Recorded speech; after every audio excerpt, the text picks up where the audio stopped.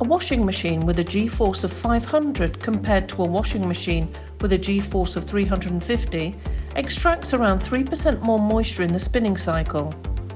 This means that it goes from 47% to 44% residual moisture, which means almost 7% less moisture to be dried, which translates into 7% less drying time. Let's imagine a 60 kilogram gas dryer with a power per hour of 90 kilowatts per hour.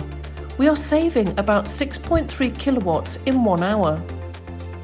In a standard 16 hour day and working 300 days a year, this represents a saving of 30,240 kilowatts of gas in one year.